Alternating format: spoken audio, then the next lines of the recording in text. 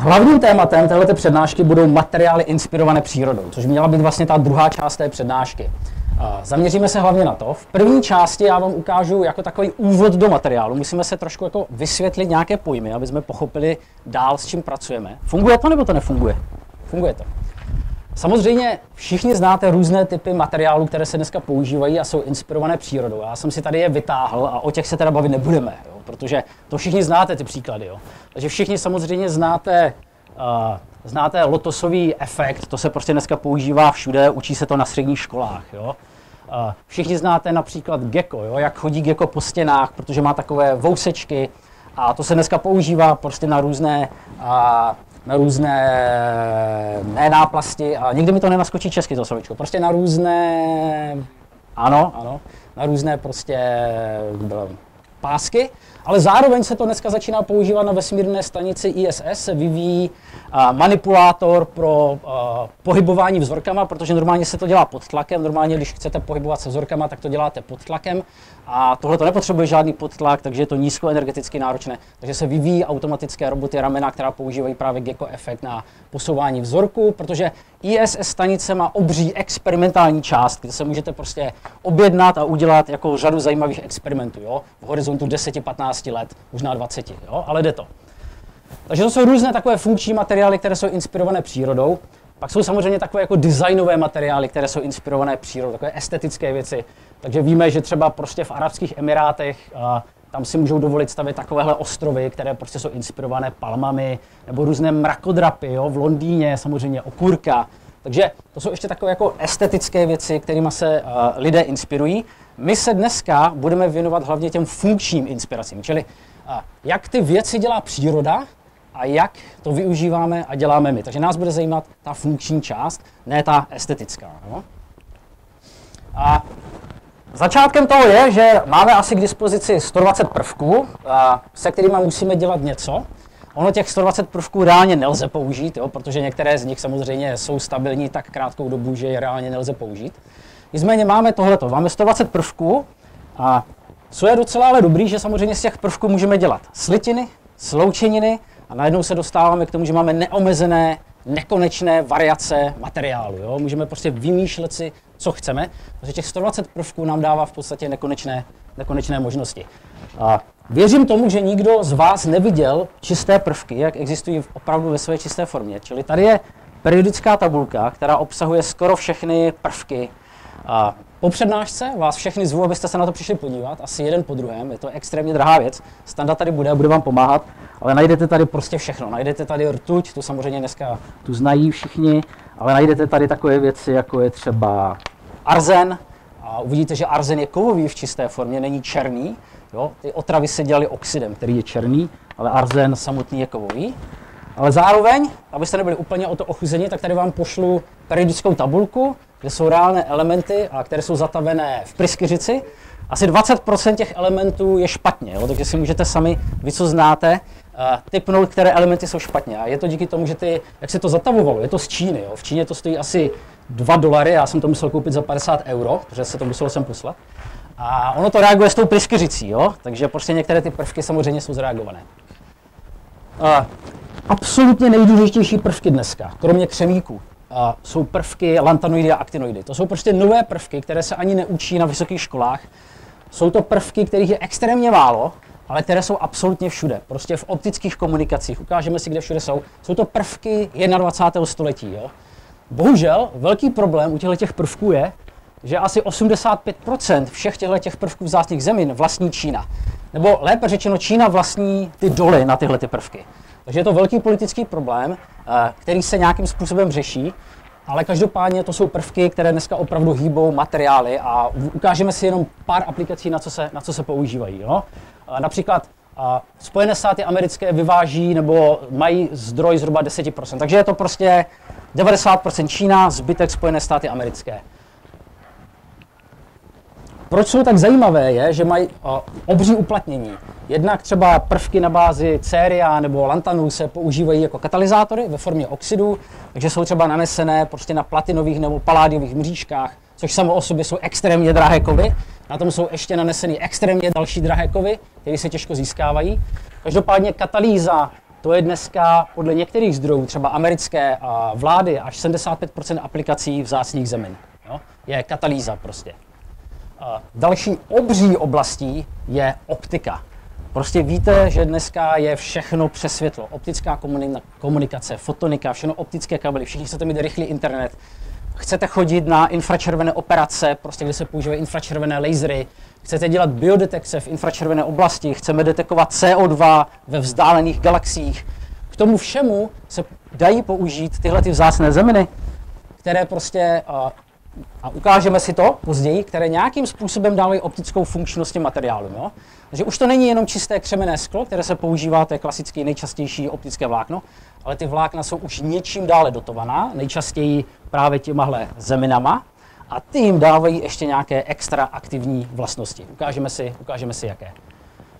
No a další velká aplikace jsou samozřejmě supermagnety. To všichni znáte, ty experimenty, určitě jste to měli v kafe Nobel, levitující magnet, samozřejmě při nízké, nízké teplotě.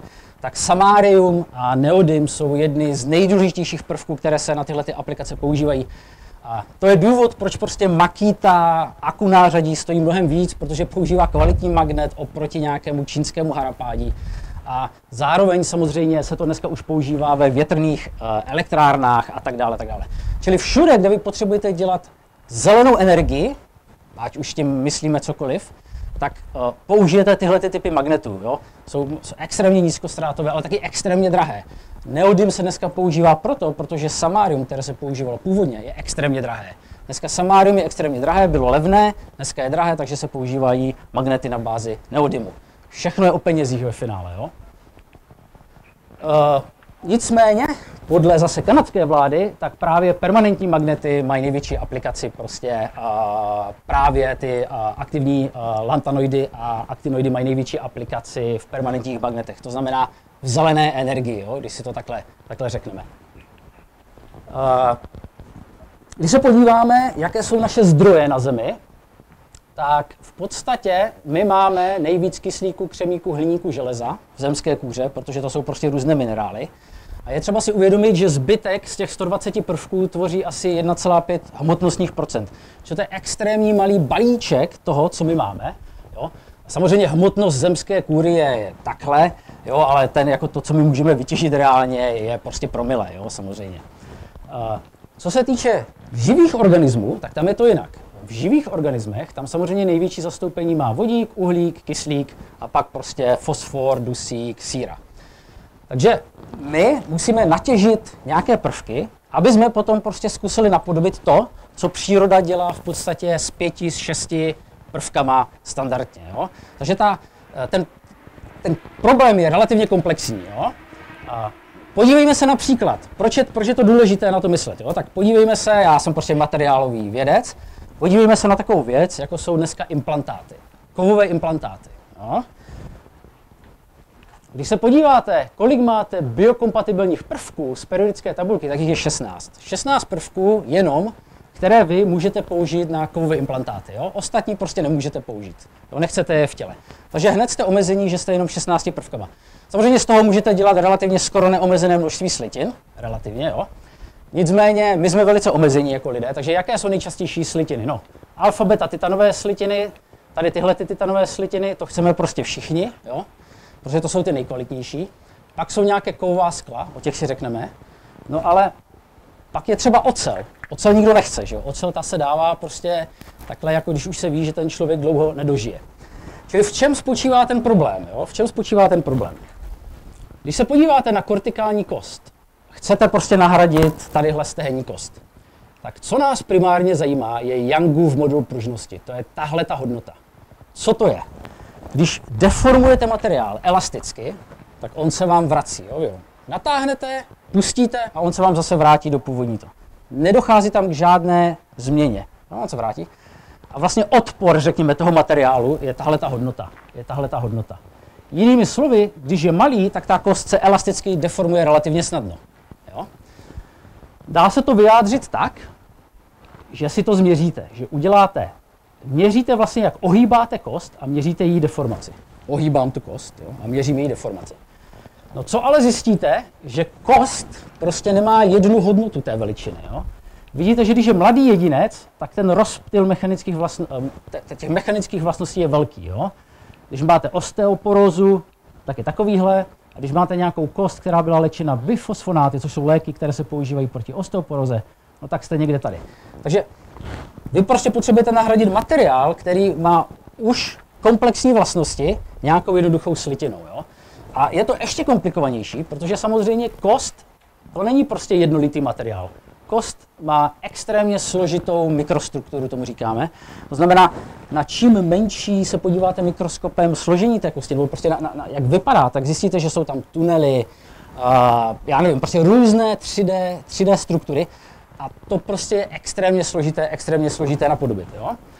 Takže ten Youngův modul pružnosti mi zjednodušeně říká, když jdu, jak dobře pružím, jo? jak dobře pružím. Máme svaly a tak dále, ale prostě u té kosti je to tak. A když se podíváte nejčastější ocel, jo, tak vidíte, že ocel je strašně tvrdá. Jo? Když vám dají ocelový implantát, tak to není prostě pohodlné. Další možností jsou teda titanové slitiny. Ty titanové slitiny prostě už jsou jako o něco lepší než ta ocel, ale pořád to není dobré. Další možností, co se používá, je kobalt. Ten se samozřejmě teda nepoužívá na stehenní kosti, ale kobalt má samozřejmě toxický, on teda z té slitiny se tolik neuvolňuje, ale má jiný problém, eh, prostě má jisté magnetické vlastnosti, takže když potom pod magnetickou rezonancí to chcete vidět, tak to neuvidíte. Jo? V podstatě on brání jako tomu, abyste viděli ten implantát, jo? řekněme si to takhle.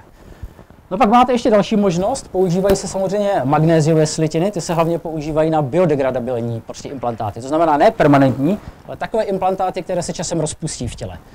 Ty jsou docela super, ale je tady problém, že může samozřejmě vznikat vodík, eh, můžou vám vznikat potom otoky a prostě ten implantát se musí vyndat a je to extrémní problém. Jo? Dá se to vyřešit tím, že se používají třeba skla a nikoli slitiny. Čili na tomhle jsem vám chtěl jenom ukázat, na takovém úplně jednoduchém příkladu, který znáte všichni asi z praxe, jak extrémně složité je prostě pro nás, pro materiálové věce, nahradit přírodní materiály. Ta příroda to fakt jako má vymakané, jo? ta příroda to tady dělá prostě Bůh ví kolik milionů let, dovedla k té dokonalosti s, pa, s pár prvkama, jo? prostě s šesti, sedmi prvkama a je to extrémně složité to napodobit. Jo? Než se posuneme dále, musíme si trošku říct něco o tom, co to je krystal a co to je sklo. Jo? To budeme hodně často používat a založíme kolem toho tu naší přednášku. Krystal, vidíte, to jsou prostě atomy jako znázorněné, jo? tak prostě krystal, to je taková látka, kde ty atomy sedí v nějaké periodické pozici. Jo? Takže když se posunete o jednotku, vždycky najdete ten samý atom. Jakýmkoliv směrem vždycky najdete ten samý atom. Sklo už má neuspořádanou strukturu, to znamená, ty atomy jsou prostě náhodně, náhodně uspořádané. Jo? Nelze prostě jednoduše popsat, kde ty atomy jsou. Ani teoreticky, ani experimentálně. Je to velice náročné popsat strukturu skla i dnes. Jo? Zatímco u krystalu je to extrémně jednoduché. Jak experimentálně, tak teoreticky. A jak připravíte takové sklo? To bude hrozně to pro nás důležité. Tenhle graf je komplikovaný, ale rychle si ho vysvětlíme. Představte si, začínáte taveninou. Jo? Máte taveninu za vysoké teploty. A všichni to znáte ze skláren, že? prostě ty skláři prostě napichují na píšťalu takovou taveninu, jo? A máte dvě možnosti. Jste nad teplotou, nad teplotou tání. A když chladíte pomalu a jdete z velké teploty, tak to, ta, ta tekutina vám zakrystalizuje a dostanete krystal. Jo? Tady vlastně máme závislost objemu na teplotě. Takže teplota nám roste takhle a objem nám roste takhle nahoru. Vidíte všichni ten zelený laser? Jo, super. Moc ne tak bohužel to asi jinak nevyřešíme. No, no to tady bohužel nefunguje nic. A leda bychom tady urvali klacek. Jo, Ježíš Mare, tak jo, tak, tak jdeme na to. Já rozbiju tu obrazovku za půl milionu.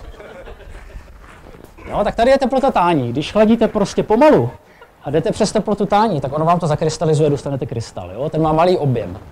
Když budete ale chladit rychle relativně, tak půjdete po téhle čáře a dostanete sklo. Sklo je v podstatě zamrzlá kapalina. Sklo se podobá kapalině, má strašně moc vlastností jako kapalina. Jediný rozdíl oproti kapalině je, že se to nehýbe. Že jo? Prostě sklo je zamrzlé, zatímco kapalina se dá deformovat. Jo? Tak to je jediný rozdíl. Jediný rozdíl je, že ty atomy nemají mobilitu jo? ve skle. Jak rychle musíte chladit? Tak to záleží, no, abyste dostali teda sklo. Jo. Tak pro čisté kovy, a dá se udělat opravdu sklo z čistých kovů, tak musíte chladit rychlostí asi 10 na 12. Jo. To jsou nějaké prostě miliardy, ještě víc uh, stupňů za sekundu. pro takové typické sklo, tady to tabulové, tak to stačí, když tu taveninu prostě necháte na stole a dostanete sklo, protože z nějakého důvodu ono to nechce formovat krystal. A potom máte ještě takové speciální skla, která mají vlastnosti extrémně podobná krystalům, ale ty musíte chladit velice pomalu. A toho se nikdo z vás nedožije, ani já. A to se dělá prostě jinou fintou, jo? ale prostě jsou takové skla, která mají vlastnosti extrémně podobná krystalům, ale musíte extrémně pomalu chladit. Reálně, kdybyste to dělali z kapaliny, tak ono se to prostě dělá jinak. Jo? Musí se to nějak ta příroda obejít. No a tady už se dostáváme teda k té otázce, takže tím uzavíráme, uzavíráme anketu.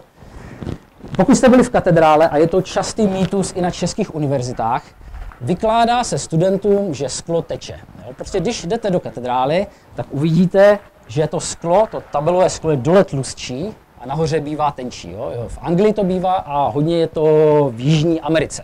Jo? A často se studentům říká, že to sklo teče. Je to naprostý nesmysl. Jako sklo teče, ale uvidíte, že ne ve věku prostě 800 let. Takže správná odpověď je ve skutečnosti, že se jedná o vadu způsobenou tehdejší technologií. Prostě tenkrát se to sklo takhle vylilo a pak se to prostě takhle válcovalo. Jo? No tak prostě na jedné straně to bylo tenčí a na druhé straně to bylo tlustší. Kdo odpověděl za B? Tak to jste vyhrál, super. jste jediný. Uh, povídá se to bohužel, je to takový blud, který se povídá i na vysokých školách. A podívejme se, jak si vysokoškolský student, jo, který má základní kurz materiálu, může velice rychle odvodit, že to je blbost. Jo.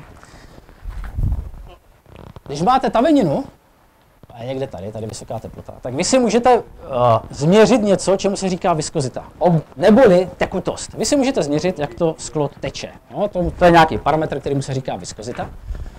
To znamená, jak chladíte, jak chladíte, tak to sklo teče míň a míň a míň a míň, až dojde, sáhne nějaké hodnoty třeba 10 na 12 pascal za sekundu. Čili když si to spočítáte, tak při tam při 10 na 12 ono teče nebo se mění řádově v desítkách sekund. Jo? A teď je otázka, jak moc se mění při pokojové teplotě. Jak moc se to sklo mění při pokojové teplotě. A to se musí nějakým způsobem spočítat. A takhle by si to spočítal student prvního ročníku vysoké školy. Tak ten student ví, že ta tekutost je vyjádřena Pascal za sekundu. Sekunda, super, už, už ví, že je v tom nějaký čas, který on potřebuje z toho získat. Jo? No co je to Pascal? Pascal je síla, která působí prostě na to sklo při dané teplotě. Jo? A jediné, co musí vědět, je, že se jedná o takzvané střižné napětí. To znamená, když tu kapalinu deformujete takhle, jo, tak to je nějaká síla, ta se dá změřit. Jo? A ta síla zhruba pro klasické sklo je 30 gigapaskalů. Jo? A teď už jediné, co potřebujete vědět, je, jaká je vaše tekutost nebo viskozita, specificky řečeno skla při pokojové teplotě. A to se nedá změřit ale dá se to vypočítat.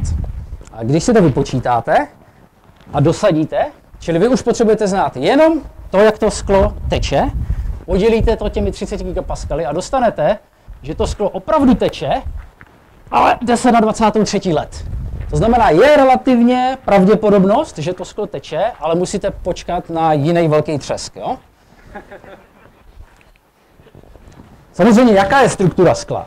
To dneska už samozřejmě docela dobře víme pro různé typy skel, ale lidé se tím zabývali hrozně dlouho a nevědělo se to. Je to jedním z takových průkopníků byly třeba zálen a tak, ale co se týče komplexních skel, skel třeba z kovu, tak velkým průkopníkem je John Bernal, což byl i eh, fyzik v Anglii, který dělal hodně eh, rengenovou difrakci. A toho opravdu trápilo, jaká je struktura skla. No tak on věděl, že je náhodná, to se vědělo všechno. No tak si prostě vzal kuličky, vzal si tyčinky a normálně kanceláři stavěl úplně náhodně, dával do sebe prostě struktury a schválně to dělal tak, aby ho lidi hrozně moc vyrušovali, protože potom si nemohl pamatovat, co dělal předtím, musel dělat něco jiného, takže v podstatě nikdy nebyl jako nějakým způsobem zaujatý. Jo? No a takhle to dělal a dospěl v podstatě k tomu, že tohle to jsou základní strukturní jednotky dneska skel. Jo? Takovouhle úplně jednoduchou metodou, kterou my dneska víme experimentálně, dospěl k tomu, že základní jednotky skel podle typu skla, jsou tetraedry, oktahedry, 12 stěny, 20 stěny, ale to všichni víte, protože všichni jste určitě hráli dračí doupě. Kdo tady hrál dračí doupě? No, tak začnu tady na té straně. Tak to jsou klasické kostky, které se používají u dračího doupěte. A to je prostě zák, to jsou základní stavební kameny skla. Jo? Takže aniž byste to věděli a během toho, co jste hráli dračí doupě, tak jste prostě už znali, co to je sklo, jaké má základní strukturní jednotky. Když se podíváme na druhou stranu spektra, takže jsme si vysvětlili, co jsou to skla, jaké mají základní vlastnosti, které pro nás budou důležité, tak teď se podíváme, co to je krystal. A úplně takovým tím fakt nejzákladnějším krystalem je křemík, jo, který se dneska používá naprosto, naprosto na vše. Tady teď udělám takovou malou vsuvku. Já jsem taky slíbil, že ukážu nové typy paměti, které nejsou založené na křemíku a které umí napodobovat vlastně kognitivní myšlení mozku. Tak to neukážu, protože prostě hol to by se nám tam nevešlo. Ale bylo by to i tematicky trošku jiné. Ale mám tam připravených pár slajdů, asi 10, a mám dokonce i ty paměti tady. A dokonce i ten materiál, ze kterých se dělá, mám tady. Takže pokud by to někoho jako extrémně zajímalo, tak to můžeme rychle sfouknout za pět minut po té přednášce. Jo? A nebo si můžeme domluvit třeba jinou přednášku na nějaké kognitivní paměti, na nové typy paměti. Jo? Takže to se omlouvám, to prostě dneska zase nebudu říkat, prostě by se to tam tematicky ani nehodilo. Jo? No takže křemík. Křemík samozřejmě hýbe světem, od 60. let, kdy prostě byly transistory a takovéhle věci. A dneska to každý máte naprosto všude. Monokrystalický křemík. Co znamená monokrystalický křemík? Monokrystalický křemík znamená, že vlastně to je jedno zrno. Jakoby, jo? Představte si jedno zrno a to prostě má pořád stejné uspořádání těch atomů. Jakým směrem se podíváte, pořád to je stejné. Tak monokrystalický křemík se dneska vyrábí staveniny, takhle se táhne Nahoře máte eh, malinký zárodeček toho krystalu, dáte do taveniny a oni vám ty křemíky difundují tam z nějakého důvodu, usazují se do mřížky a vy to pomaličku taháte nahoru a oni ty nečistoty jdou do té taveniny a jediná nečistota, která vám jde do krystalu, je kyslík, jo, z nějakého zase důvodu. Takže vaše výhoda, příroda funguje s vámi, příroda ráda vytlačí všechny ty, uh, všechny ty nečistoty do taveniny, takže to je super. Takže to takhle pomaličku, pomaličku táhnete a dostanete něco, co je tady tohleto. Tohle to je monokrystal křemíku, no, takovýhle válec dostanete. Normálně se táhne asi metr, a v roce 2009 to stálo 60 tisíc dolarů, dneska to stojí podle mě tak 200. A z tohle se potom nařežou salámky, jo, a na ty salámky se potom dělají integrované obvody. Cílem je narůst prostě co nejperfektnější krystal, bez jakýchkoliv defektů. Jo. Potom, tohle to je špice, čili tady je ten zárodek, Tady je ten zárodek, takhle se to táhne nahoru. Mezi tím je ten váleček, který ten salámeček, který se nařeže, a tady tohle je špice. Jo? Tohle to byl v roce 2008 odpad, to má hrozně moc defektů v sobě, dneska se to vykupuje, jo? prostě to čistý křemík, vykupuje se to. A je tady spousta eh, lidí z naší univerzity, tak křemík má diamantovou mřížku, vám poradím, a můžete si podle těchto fazet typnout, jaké jsou dvě nejčastější krystalografické orientace křemíku, které se táhnou. No, to, se, to se nebudu ptát na hlas, to si nechte pro sebe. Čili nejčastěji se vyrábí dvě krystalografické orientace A a B. Mají různé výhody, protože jiná má odpor, má jiné mechanické vlastnosti a tedy a tedy, ale věřím, že lidi z UEPu okamžitě poznali podle toho, že to je diamantová mřížka, o jaké dvě typické krystalografické orientace se jedná. Takže to je křemík. Mimochodem, tohle je čisté křemené sklo. Tohle je čistý oxid křemičitý, naprosto čistý. Pak se všichni můžete přijít podívat na všechno, ze kterého se vyrábí prostě křemené ampule, křemené věci, ze kterých se tyhle ty věci táhnou. Jo? Tahle ta vanička tady je čistě křemená, to prostě všechno musí být naprosto čisté. Absolutně čisté. Jo? Tohle je čisté křemené sklo. Tady potom máte polykrystalický křemík, to je ten, který se rozstaví a z něho se pak táhne eh, monokrystal křemíku. Taky se na to můžete podívat. Jo? A všechno se pak přijďte podívat. Takže to jsme sfoukli křemík. No, každý samozřejmě chápete, že ty a, monokrystaly mají nějaké vlastnosti, ale vy často táhnete i polykrystaly nebo amorfní křemík. Záměrně neříkám sklo, ono amorfní a sklo není to samé, ale amorfní znamená neuspořádané. A k čemu to je dobré? No tak tady jsem si vybral příklad fotovoltaických článků. Monokrystal, polykrystal, amorfní, všechny mají jiné vlastnosti, hodí se prostě na jiné aplikace. Jo? Takže ta struktura prostě, vidíte, že to je pořád jeden prvek. Je to křemík, je to čistý křemík, ale má jiné uspořádání atomů. A ten finální materiál má úplně jiné vlastnosti, ale je to prostě pořád ten samý křemík, který byl, který prostě se udělal tímhletím salámkem, tenhle a tenhle, tenhle se udělal trošku jinak. Jo? To je tenká, tenká vrstva a dá se dokonce i ohýbat, takže může být flexibilní. Takže pokud chceme dělat nové materiály, jo, chceme prostě, chceme se posunout, tak se musíme posunout, k, dneska se tomu říká hybridní, funkční materiály, to je jedno, je to prostě takový jenom jako názvy, které používáme. Takže jaká je strategie dostat se k novým materiálům? Tak máme nějaké prostě, nějaké pendum těch materiálů, skla, polymery, elastomery, umělé tkáně dneska, jo? Prostě máme, máme strašně moc materiálu. Potom, a teď se nelekněte, ale kdo umí šít, potom samozřejmě musíme kombinovat strukturu těch materiálů, jo? Tohle to je ukázka různých stehů. Ani jsem se neodvážil je z angličtiny přeložit. Ale prostě vyrábíte kompozity. Můžete různě kombinovat různé materiály do sebe, sendviče, prostě 3D struktury. A to vám extrémně mění zase ty vlastnosti. Jo? Čili to kombinujeme spolu. Co dál? No potom kombinujeme nějaké vlastnosti, tak to je jasné. A já vám ukážu něco o optických a mechanických vlastnostech. Takže to k tomu přidáváme. No a potom velikost. Takže je rozdíl, jestli to je tenká vrstva, jestli to je rozhraní, jestli to je povrch, jestli to je objemový materiál, anebo jestli to je mikro, nano. Nano je dneska hrozně populární. Základem nano, to určitě jste už viděli, je to, že prostě nanomateriály mají velký povrch. A když vezmete krychličku a teď ji prostě rozdělíte dvakrát a tam tu zase dvakrát, tak vidíte, že zatímco objem vám zůstává teoreticky stejný, mimochodem ten objem se taky mění, abyste dostali ten povrch aktivní, jak potřebujete, ale co se extrémně mění, je samozřejmě ten povrch. Jo? Takže jak stačí rozřezat krychličku dvakrát a vidíte, že to máte co, třikrát, čtyřikrát, no, něco takového. Prostě zvětšíte, zvětšíte okamžitě povrch. Jo? A to je jeden z velkých principů třeba těch a, katalyzátorů, jo? které mají prostě velký povrch, a tím pádem mají větší a katalytickou aktivitu. No, podívejme se na takový typ materiálu a na to tady máme ukázku. Ještě chviličku, ještě, pardon, ještě chviličku radíme, ještě jenom moment. Ještě to nepřepínej. Všichni víte, nebo možná znáte, že kovy nejsou elastické. No, prostě kov je kov. Nicméně existuje druh kovu, a je to kovové sklo, to znamená, není to krystal, ale je to sklo, ale je to z kovu, a to má velice zajímavé elastické vlastnosti. Jak se na to můžeme podívat? A už jsem říkal, když deformujete pružinku nebo tak elasticky, tak vy ji natáhnete nebo gumu vrátíte, jo, ona se vrátí. Pustíte, vrátí. To se dá, to se dá samozřejmě nějak kvantifikovat jako napětí a deformace. Čili napětí, které dávám na to a měřím, jak se to deformuje, pak to pustím, ono se to deformuje zpátky. Čili deformuju nahoru, pustím a jde mi to zpátky dolů. Jo? Ta energie uložená je tahle ta plocha. Čili tohle to je plocha, kterou já můžu uložit do materiálu. No? A s tím já můžu nějakým způsobem pracovat.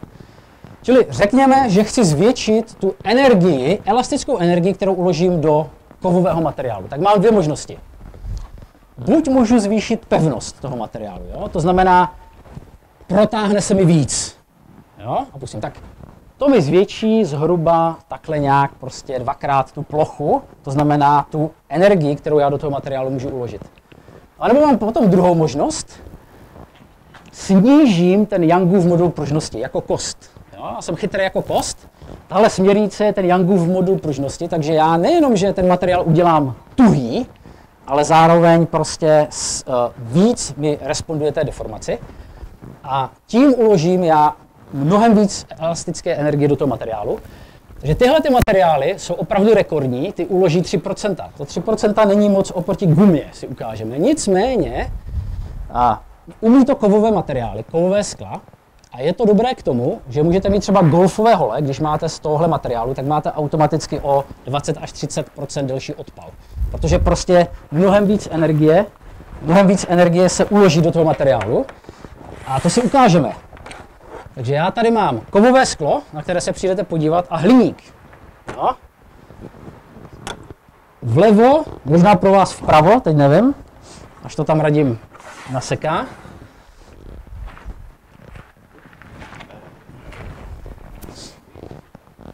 Technika funguje jako vždy. Jo. Ano, měř to na to prosím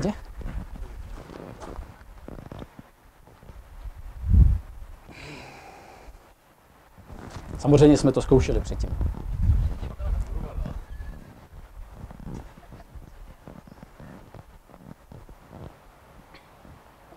A to jsem chtěl skončit přesně na čas. Takže ukážeme si, jak se dá prakticky uložit elastická energie do kového materiálu. Prosím nás 3%, to zní strašně málo. A guma má 300%, ale čistý kov má 0,01%. Čili tyhle ty kovové skla z kovových materiálů dokážou stonásobně uložit víc. Jo, super. Takže pro vás to je vpravo. Vpravo je tam destička kovového skla a vlevo je čistý hliník. Hliník je extrémně špatný, proto jsem si ho vybral. Kdybych si tam dal titan, tak nic neuvidíte, tak je to velice podobné. Hliník je extrémně špatný v ukládání elastické energie, takže si z něho nedělejte luk, ale zase má dobré vlastnosti v ohybu, proto v něm lítáme, že jo. Takže já to tady takhle udělám. Takže kovové sklo vpravo, hliník vlevo.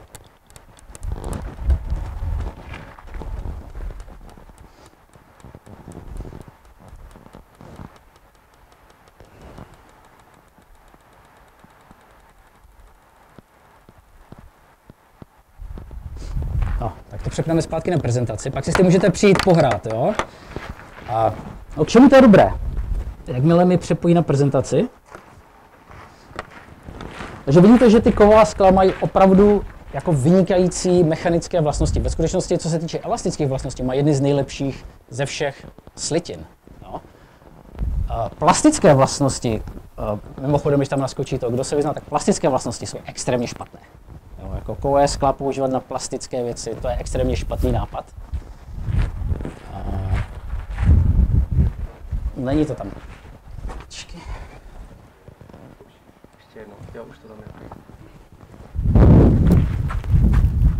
Takže k čemu se to používá? No tak kovová skla, já věřím, že všichni umíte perfektně japonsky. A koničiva, dobrý večer. Kovová skla se například používají, to je jeden z nejmenších motorků, takže eh, jak máte prostě vibraci v eh, telefonu, tak to je prostě motor, který je z kových skel. Oni mají strašně nízké opotřebení, extrémně nízké opotřebení a můžou, mají extrémně dlouhou životnost. Já nevím, komu z vás někdy selhala vibrace v telefonu.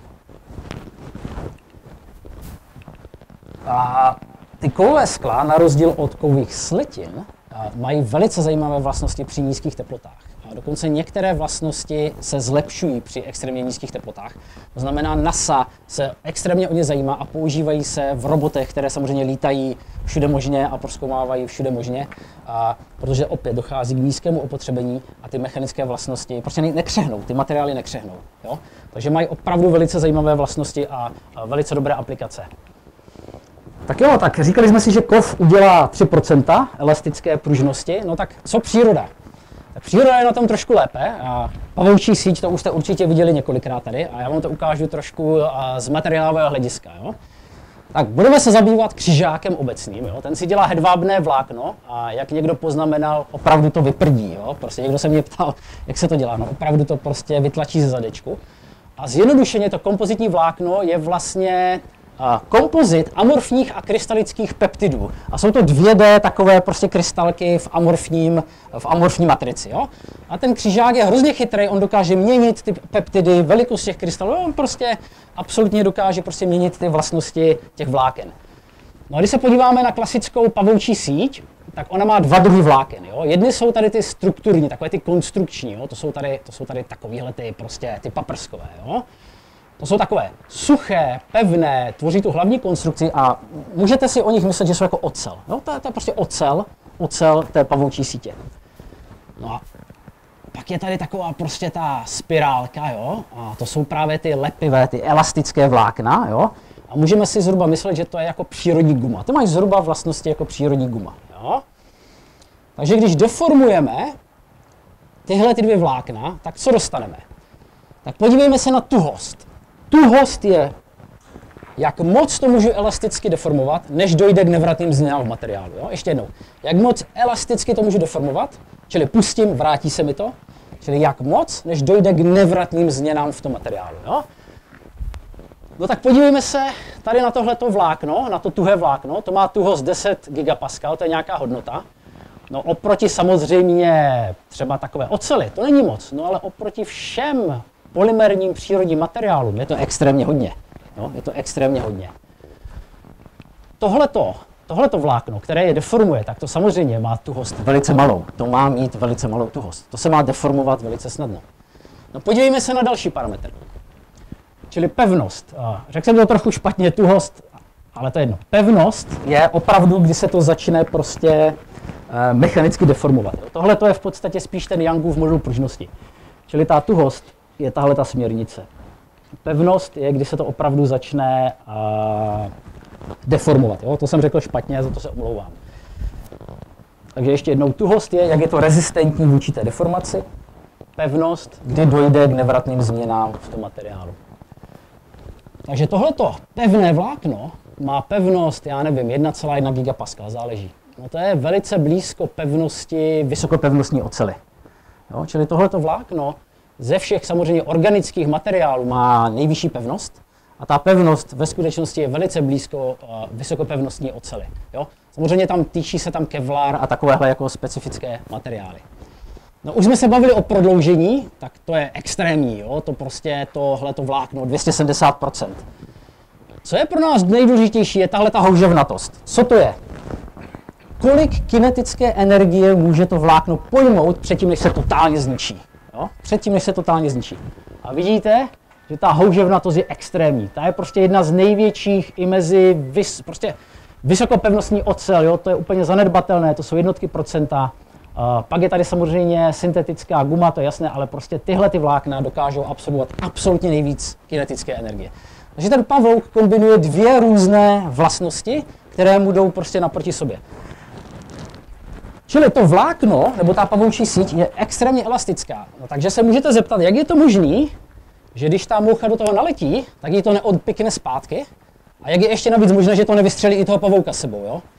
Protože prostě to je tak hrozně moc energie, že normálně by to prostě ta moucha by se vrátila, neměl by problém, ten pavouk by letěl s ní, jo? No ten pavouk samozřejmě je chytrý, že jo? Takže jak jsem vám říkal, klasický materiály, úplně zjednodušeně, se deformují tak, že prostě zdeformujete a zpátky jdou zase zhruba po stejné přímce nebo s nějakým posunem. Jo? Ale pavouk, ten to dělá jinak. Pavouk obě ty vlákna takhle se deformují, když se natahují a pak, když se uvolňují, tak jdou prostě po jiné deformační křivce. No co to znamená, je, že tahle ta plocha je rozdíl v té energii přijímuté a vydané tou sítí, jo, těmi vlákny, což je až 65%, jinými slovy, dvě třetiny té energie se ztratí v pohybu toho vlákna a přemění se na teplo. Jo? Takže ta, jako ten pavouk je v pohodě, ten se ohřeje, jo? ono to tak není, to si dám srandu, ale prostě dvě třetiny se přemění na teplo. Takže nikdo neodletí, nevystřelí to tu mouchu a ten pavouk prostě to neodpinkne. Jo? Takže to má vymakané. Jinak ta, může být zajímavé, že ona má vysko eh, elastické chování ta síť. To znamená, čím rychleji ji deformujete, tím lepší mechanické vlastnosti má, ale vydrží kratší dobu. Takže teoreticky může po, teoreticky by mohla i kulku přijmout, ale v řádu prostě nanosekund. Jo. Takže samozřejmě to ona nevydrží. A co je velice zajímavé, je, že i 25%, jedna čtvrtina, jedna pětina poničené sítě si zachovává stejné mechanické vlastnosti. Mimochodem asi bych měl říct, že neumíme vyrobit takovéhle vlákno, jo. A si zachovává prostě vlastnosti. No a co je ještě důležité, je rychlost šíření zvuku. To záleží na jakém to je směru, ale je to zhruba 200 až 300 metrů za sekundu. Jinými slovy, ten pavouk velice rychle ví, že tam něco je. Ta rychlost šíření zvuku opravdu je extrémně, extrémně velká. A ten pavouk navíc je extrémně chytrý a on čeká na spojích, kde se ta rychlost šíří, nejrych, eh, kde se ten zvuk šíří nejrychleji. Takže on ví, kde má čekat, aby prostě tu, rychlo, eh, tu informaci obdržel co, eh, co nejrychleji. No? Můžeme to zase nějak charakterizovat materiálově, takže můžeme se podívat na pevnost versus tuhost, čili pevnost, kdy se nám to začne plasticky deformovat, to je tamhle ta osa, a tuhost je vlastně taková prostě konstanta pružiny. Jo? No a vidíte, že prostě z organických materiálů, a nejenom, jsou prostě tyhle ty vlákna absolutně na špici, absolutně extrémní. Jo? Samozřejmě kevlar, prostě uhlíkové vlákno, jo, jako je na tom samozřejmě líp, ale z takových těch jako klasicky dostupných materiálů i oproti prostě samozřejmě kovým slitinám ten pavouk jako je borec. Jo? Ten to prostě jako umí, jo? My to takhle neumíme. No dobře, tak jako moucha přežila pavouka, jo? tak prostě nějakým způsobem se přes léto nechytila do pavoučí sítě. No a teď má jiný problém. Ona musí přežít zimu. Jo? Řada, řada hmyzu musí prostě přežít zimu. A ví se, že čím menší ten hmyz je, tak tím uh, nižší teplotu přežije. Teplota krystalizace, řekněme, u ledu je nula, takže máme vodu, chladíme, chladíme, chladíme, při nule se udělá krystal, úplně zjednodušeně a je hotovo. Jo? Co znamená teplota krystalizace minus 60? No jdete do minus 60, než se vám utvoří krystal. Čím jste menší brouček, tím automaticky z nějakého důvodu, který si vysvětlíme, jste schopni jít do menších teplot. Jenom tím, že jste maličký brouček. Jo? Když jste velká žába, velký obojživelník, tak ta vaše situace je mnohem složitější. Jo? Takže ty broučkové to navíc dělají tak, že oni vylučují různé chemikálie. Glukóza, různé proteiny, glycerol, etylenglykol, lijete to do auta v zimě, které mají ty vlastnosti, že zabraňují tvorbě krystalů. Jo? Na to se ještě podíváme. Čili zvyšují to podchlazení, jednak snižují rychlost růstu krystalů, nebo zabraňují tomu a když už vzniknou, tak je zpomalují. Jo? A kdybyste toho broučka rozebrali v zimě, tak tyhle ty látky můžou tvořit až jednu pětinu, jednu čtvrtinu jeho tělesné hmotnosti. Čili on jich vyprodukuje extrémně mnoho. Jo? Uf, jak to funguje? No, je tady jeden velký problém. Prostě voda jednak neexistuje jako čistá voda v tom broučkovi, že jo? Ani v nás není čistá voda, ta voda prostě obsahuje strašně moc jiných chemikálí. A věc, kterou ten brouček musí udělat, je, on musí potlačit takzvanou nukleaci těch krystalů. Co to je ta nukleace? Nukleace je, jak rychle v daném objemu vygenerujete krystaly. Jo? Čili za daný čas, kolik vy jste schopen vygenerovat krystalů v daném objemu. Jo? U vody je to až 10 na 23 krystalů v kubickém centimetru za sekundu. Tolik prostě zárodků vody vy můžete vygenerovat prostě v centimetru krychlém vody. To je extrémně mnoho, jako, jo, jako 10 na 23 je strašně veliké číslo. Oni jsou maličké, jo, oni jsou maličké, ale prostě je jich extrémně mnoho. A dokonce uh, některý ten hmyz, jako je třeba tahle ta larva, tak ta se dokáže dostat uh, opravdu potlačit těch 10 na 23. Jo. Tenhle ten graf nám ukazuje, tohle to jsou malinké kapičky vody, jo? tyhle ty jsou trošku větší a tyhle ty jsou trošku menší. To je měřené experimentálně a ty nám právě ukazují, jak velké podchlazení zprava doleva vy můžete získat. Jo? To znamená, při velkých kuličkách vody vy jste nějakých 220 kelvinů, teď nevím, jestli všichni víte, co je kelvin, 273 je prostě teplota nuly, čili 273 kelvinů je teplota nuly. A čím menší jsou ty kuličky, tak vy jste schopni se dostat třeba až na 180 na 200. Jo? Čili hmyz tím, že má objem několik mikrolitrů automaticky, je schopen se podchladit na minus 15 až na minus 20 stupňů, jenom tím, že prostě má strašně maličký objem. Jo? To souvisí prostě s nějakými fyzikálně chemickými procesy. Pro nás to stačí absolutně, absolutně takhle. Jo? Čili jaké má možnosti ten brouček prostě přežít zimu, anebo ten obojživelník. Jo? To jsou takové dva typické příklady. Tak jsou dva způsoby. Buď, a to je častější, aktivně řídí krystalizaci. On dokáže ty krystalky v sobě na specifických místech vytvořit, tak, aby neublížili prostě celám tkáním důležitým prostě oblastem, eh, které jsou životně důležité funkce. To je, jedna z možností. Čili on ty krystalky vytvoří, ale vytvoří je v sobě tam, kde mu neublíží. Jo? A musí kontrolovat, kde je vytvoří a jakou velikost udělá. Jo? A bylo nalezeno, že prostě jsou nějaké nukleační činidla v trávicím traktu a nebo prostě v krvní plazmě, jo, tam jsou prostě nějaké látky, které prostě dokážou, uh, dokážou tohleto udělat. Ten proces je extrémně složitý, to si jenom řekneme.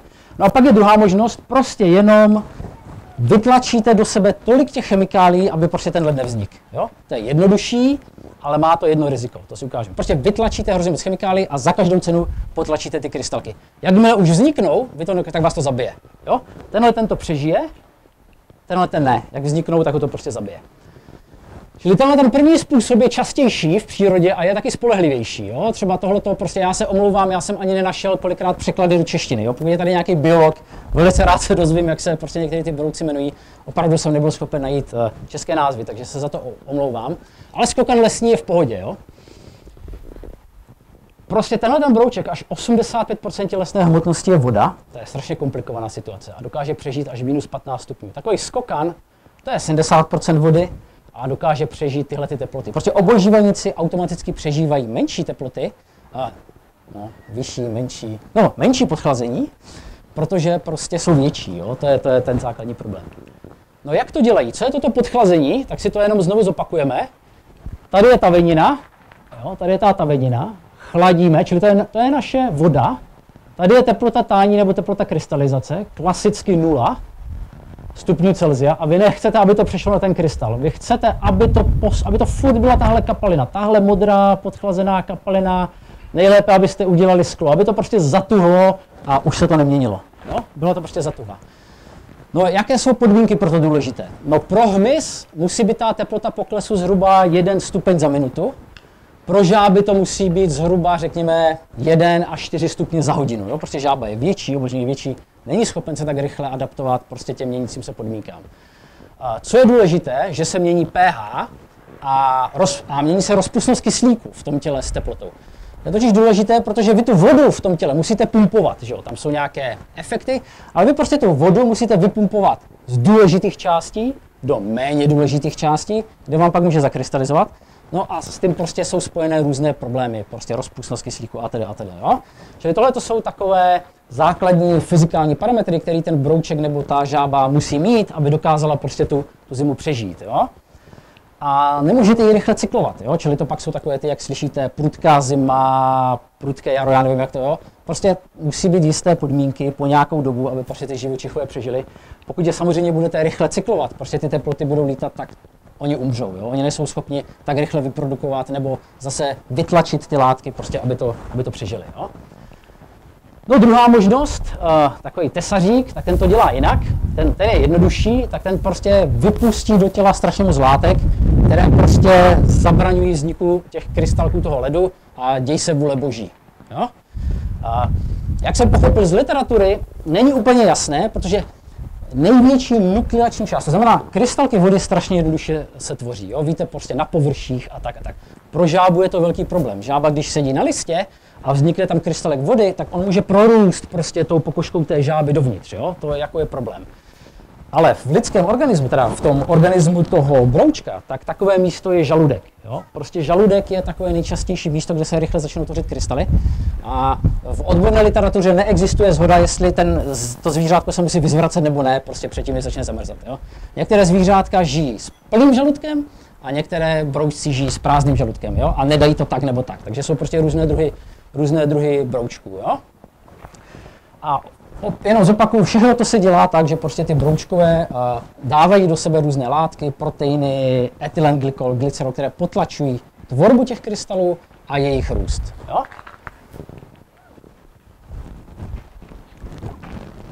Teď úplně přeskočíme. Bavili jsme se o broučkách a čili víme, že prostě taková mucha, když přežije síť a nesní prostě pavouk, a, a, nebo přežije mucha, asi nezimuje, ne?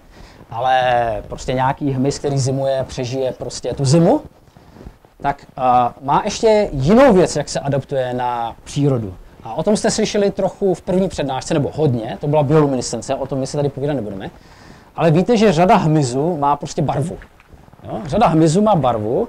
Já myslím, že takovými držiteli rekordů jsou motýly. Jo? Motýly prostě mají barvu. A ta barva má různé funkce.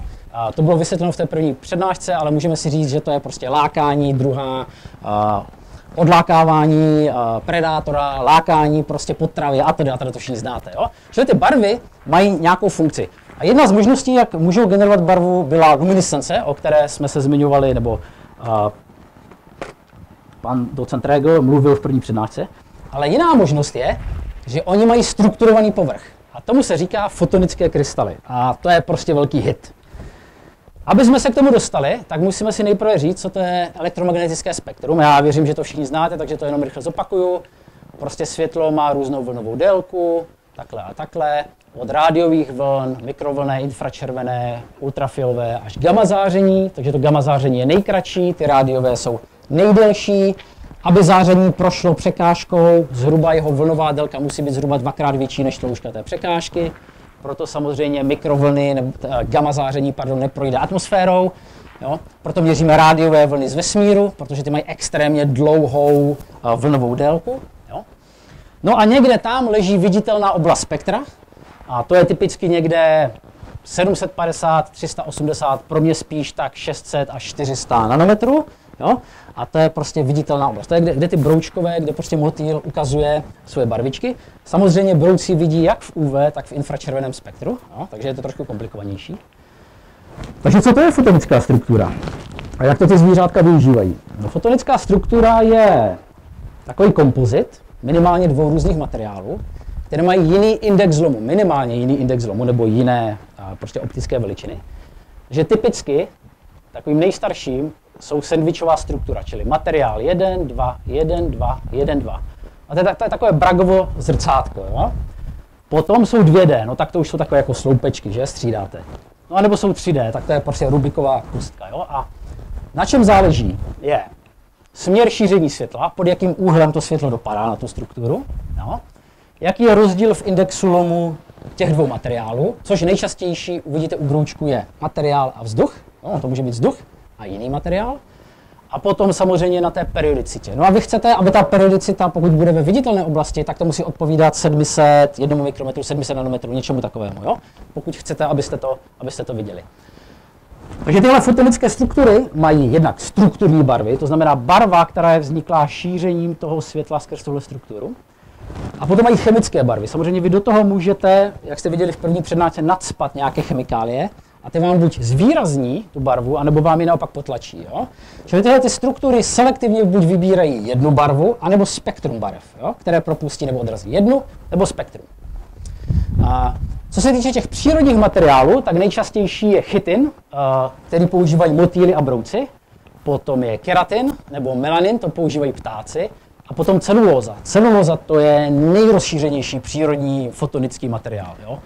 Rostliny jsou velice chytré. Rostliny podle toho, kde žijí, tak dělají takové krystaly, aby buď absorbovali UV, anebo ho odpudili UV. Že? Některá rostlina chce víc UV, některá rostlina chce méně UV. A ještě přírodním a, a takovým úplně typickým fotonickým krystalem, který tady bohužel nemám, je opál. To jsou nanočástice oxidu křemičitého. No k čemu to je dobré? Tak eh, musíme si bohužel udělat základní kurz fyziky, takže tyhle ty fotonické krystaly prostě kombinují různé optické jevy dohromady. Je to extrémně komplikované. Ale jedním z těch jevů je difrakce na mřížce. Já doufám, že tam bude něco vidět. Vidíte tam difrakci na mřížce? Tak, tak tohle je difrakce, difrakce na mřížce. Jo? Potom kombinují interferenci, to znamená typicky, když máte oxid na kovovém podkladě, tak na tloušťce toho oxidu, no v závislosti na tloušťce toho oxidu se vám mění barva. Tady máte třeba příklad interference na kovových sklech, to jsou ková skla, která mimochodem bychom rádi používali jako šperky. A vidíte, že ta barva se extrémně krásně mění a záleží to na tloušťce. Čím větší tloušťka, tím jdete do větších vlnových délek, posouváte se do červené. Jo? No a ty fotonické krystaly prostě hold kombinují tohle všechno nějakým způsobem dohromady. Jo? Ale jsou to takové základní dva jevy, Bragův a Snellův zákon. Podstatě, no, trošku komplikovaný. Jo? No k čemu to je dobrý? Tak když jsme se bavili o té difrakci, tak já jsem vám ukazoval difrakci jednou vlnovou délkou na optickém mřížce, ale co vy můžete udělat? Vy můžete vzít mřížku a na ní posvítit bílým světlem a ono vám to rozloží prostě barevné spektrum. No tady je jenom viditelná, ale ono to samozřejmě jde do infračervené a do UV a infračervená je přesně ta oblast, kterou my chceme pro, detekci, pro biodetekci. Všechny sloučeniny, všechny chemikálie, všechny mají v infračervené oblasti nějaké charakteristické pásy, barvičky, v podstatě oni mají barvu, kterou my můžeme detekovat, akorát ji nevidíme. Jo? Takže třeba tohle je příklad uh, amorfního selénu a tohle je uh, rainbow, duha, nad Niagarskými vodopády akorát o půlnoci. Jo?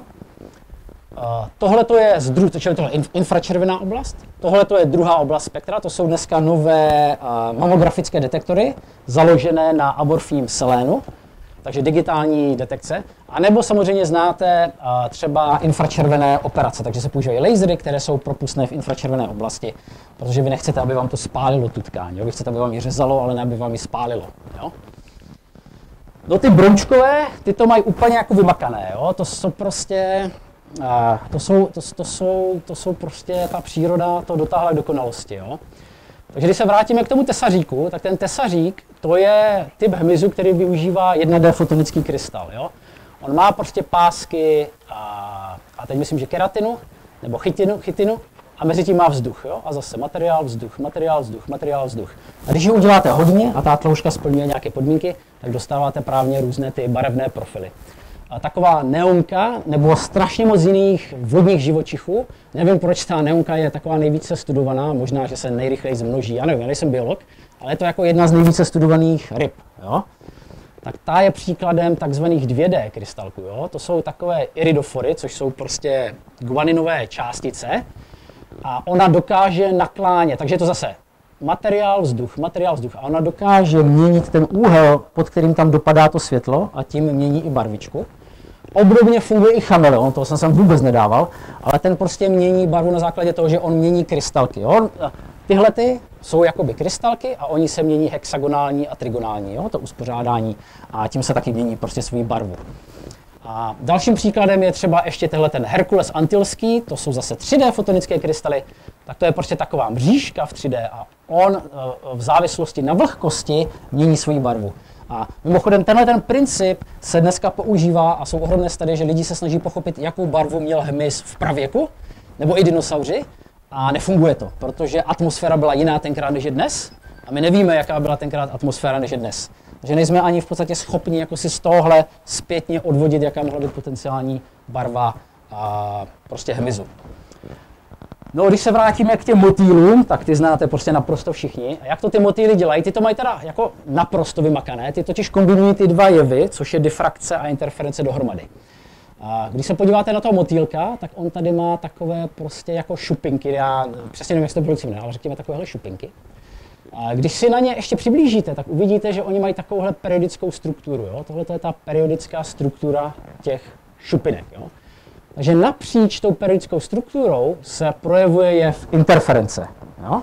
To znamená, některé vlnové délky se potlačí, jiné se propustí nebo odrazí. No a teď, když se podíváte z profilu na to, tak ono to vypadá jako takový vánoční stromeček. Jo? Čili na, jedne, na jednu tuhle tu čárečku my se díváme z profilu a on je to takový vánoční stromeček a tam se projevuje difrakce, to znamená uhyb světla. A ten motýl to prostě kombinuje dohromady. A některá literatura popisuje, a, takže já rozumím difrakci interferenci, ale nerozumím modrému barvivu, co jsem diskutoval s nějakými biologi. A literatura popisuje, že má ještě tenhle ten motýl, to je nejstudovanější motýl, jo? to prostě používáme vždycky jako příklady studentům, že má ještě modré barvivo, které právě zvýrazňuje tu modrou barvu. Nicméně, teď biologové tvrdí nově, že to barvivo nemá. To je naopak jediný motýl, které tohle barvivo nemá a i tak dokáže prostě eh, generovat krásnou modrou barvu. Nevím, jo? pokud tady je nějaký biolog, tak by mě rád, jako, co by mě zajímalo, jak to ve skutečnosti je. Ale jinak většina, samozřejmě drtivá většina motýlů má ještě barvivo, které podporuje prostě tu strukturní, strukturní barvu. Čili k čemu jsou dobré ty fotonické struktury? No ty fotonické struktury jsou dobré k tomu, když máte jakoukoliv optickou aplikaci. Jakoukoliv optickou aplikaci. Může to být solární článek, fotovoltaický článek, může to být já nevím, uh, infračervená optika, prostě cokoliv, co vás napadne a teď vy potřebujete zvýšit účinnost. Jo? Buď to světlo potřebujete víc zviditelnit, nebo víc někam poslat, nebo potlačit nějaké světlo. Tak tam všude se uplatní prostě tyhle ty fotonické struktury, jo? které nanesete na ten materiál a oni vám dají tyhle ty změny podle toho, co vy potřebujete. A ještě do nich můžete dát tyhle ty lantanoidy a aktinoidy a ty vám dají takzvanou luminescenci. Tadyhle Nevím, jestli to bude vidět, ona už není, není úplně ještě tma. Tak tadyhle já mám sklo, které je dotované lantánem a tady je krystal, který je dotovaný lutéciem. A ukážeme si typickou luminescenci. Takže luminescence klasická je, že posvítím na materiál vysokoenergetickým zářením a dostanu nízkoenergetické záření. To znamená, posvítím UV a dostanu typicky červenou. Je ještě jiný typ luminescence, a můžete posvítit červenou, nízkoenergetickou a můžete dostat modrou. Jo, to je dneska možné, ale tím se tady zabývat nebudeme. Jak jste viděli v první přednášce, bioluminescence je vysoce efektivní proces. Jako. V, v, v materiálech je to extrémně málo pravděpodobný jev, a když vy excitujete elektron eh, v materiálu, on má strašně moc jiných možností, co může udělat, než aby vám dal to světlo ven. Jo? Ten elektron může udělat strašně moc věcí a to, že vám zasvítí, to je úplně ta poslední věc, co ho zajímá. Jo? Takže ta luminescence není opravdu častá, jo? Na rozdíl třeba opravdu od organismů, které cíleně ji mají. Takže tady vidíte a můžete pak přijít a porád si s tím, tady je prostě sklo, které má takovou červenou, oranžovou luminescenci. Jo, tohle je prostě fialové, takové nějaké světlo. A tady je krystal, který nám krásně září, jo? Ten má v sobě lutécium. A to je zjednodušeně, tohle to je zjednodušeně princip aktivního laseru třeba.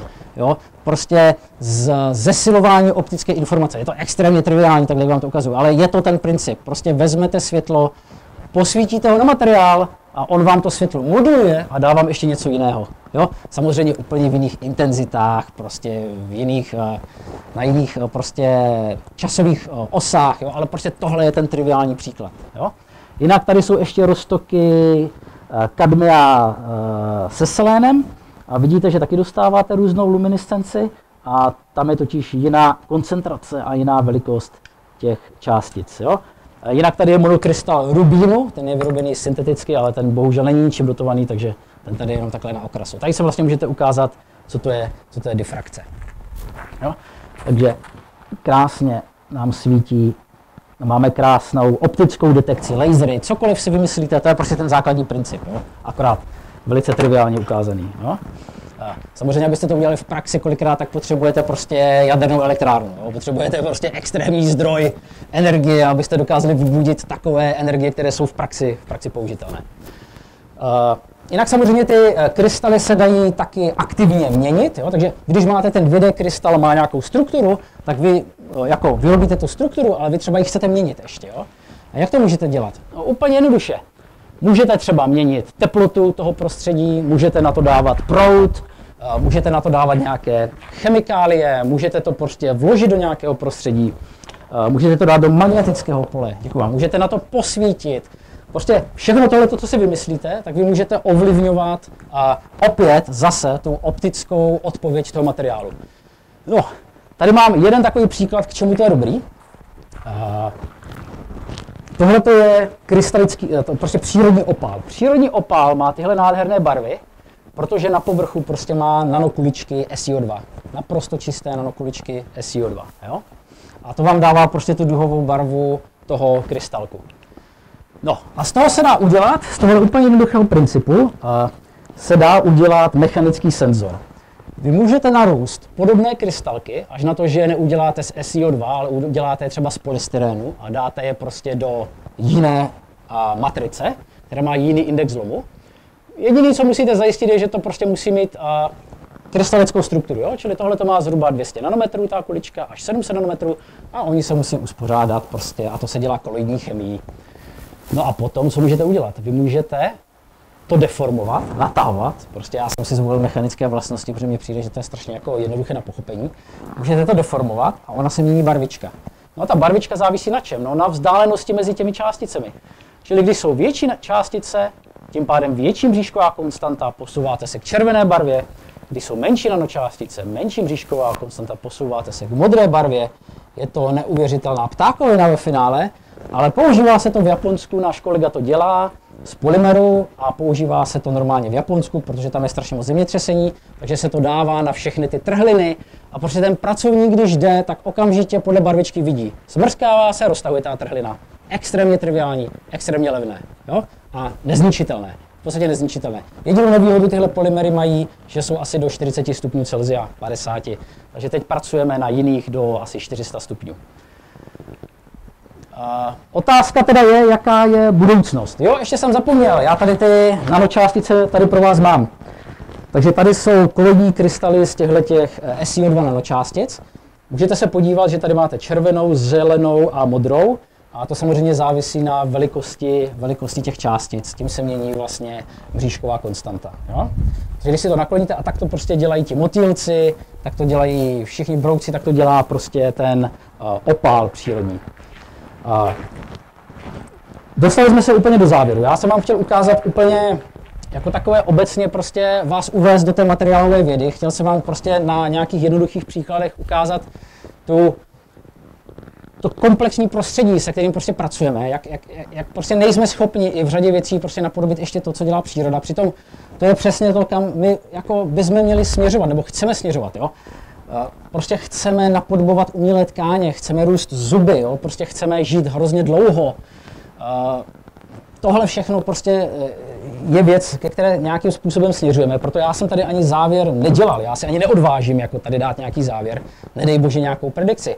Nicméně opravdu ten trend je jasný, prostě snažíme se napodobit to, co dělá příroda, prostě dobrým příkladem dneska třeba jsou umělé tkáně, které se už dají samozřejmě nějakým způsobem růst, ale je to extrémně, extrémně omezené. Uh, kam se třeba ta materiálová věda hodně vydává, jsou opravdu různý, to je teď jako velké téma, a nanoroboti, jo, prostě který nejenom, že můžete stříknout do lidského těla, oni vám prostě tu látku, jakou už to může být prostě, to může být cokoliv, jo, to nemusí být jenom léčivo, vám prostě donesou na dané specifické místo, prostě vás neexistují, jo, jako kdyby existovaly, tak, není, tak dneska už asi není rakovina, protože v těch vakcínách není, jo, jako neumíme to, jo, a fakt, by, fakt bychom dokázali vylečit rakovinu, jo, kdyby prostě Bill Gates měl tyhle, ty, tyhle ty nanoroboty.